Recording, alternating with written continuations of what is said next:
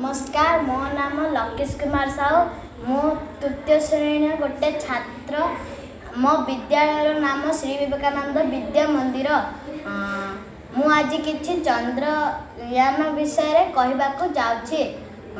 ପୃଥିବୀ ପୃଷ୍ଠରେ ଚନ୍ଦ୍ରର ଦୂରତା ତିନି ଲକ୍ଷ ଚଉରାଅଶୀ ହଜାର ଚାରିଶହ କିଲୋମିଟର।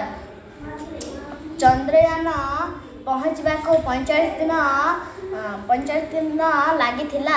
ଚନ୍ଦ୍ରୟାନ ଜୁଲାଇ ଚଉଦ ତାରିଖରେ ଚନ୍ଦ୍ର ଚନ୍ଦ୍ରପୃଷ୍ଠକୁ ପଠାଯାଇଥିଲା। Bangalore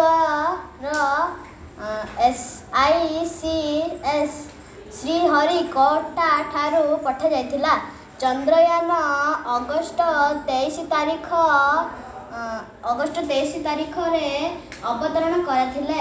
ଚନ୍ଦ୍ରୟାନ ଚନ୍ଦ୍ରର ଦକ୍ଷିଣ ମେରୁରେ ଅବତରଣ କରିଥିଲା। ପ୍ରଥମେ ଲ୍ୟାଣ୍ଡର ବିକ୍ରମ ଏହାର ସ୍ପର୍ଶ ଚିତ୍ର ଉତ୍ତୋଳନ କରିଥିଲା। ପରେ ରବର୍ଟ ପ୍ରଜ୍ଞାନ ଏହାର ଅନୁସନ୍ଧାନ କରିଛି। ଏତିକି କହି ମୋ ମୁଁ ଭକ୍ତ ଶେଷ କରୁଛି। ଧନ୍ୟବାଦ। Thank you so much for watching our video. Please don't forget to like, share, subscribe and press the bell icon for latest updates on Swami Vivekanand ideologies and our Sri Vivekanand Vidya Mandir group of institutions.